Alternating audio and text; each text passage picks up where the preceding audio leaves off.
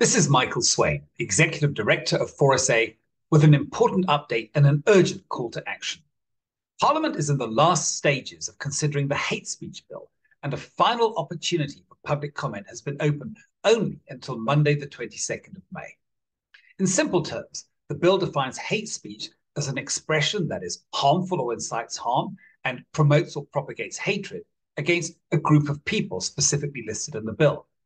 If you're found guilty of committing this new crime, you will face a jail sentence of up to eight years for a first offence. Here's the big problem. Even if you made a submission in a previous round of public participation before the Department of Justice or the National Assembly, your previous submission will not count. This is a brand new round of public comments, so unless you submit your comments again, your voice will not be heard.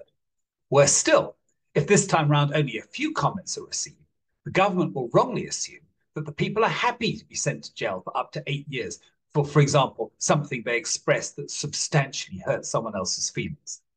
So if you value your right to express your religious beliefs freely and fearlessly, you need to comment again. Visit the forsa.org.za website, click the link, and take two minutes to make your submission today. Thank you for standing for faith and freedom. Good day. This is Daniela Ellerbeck the legal advisor to Freedom of Religion South Africa.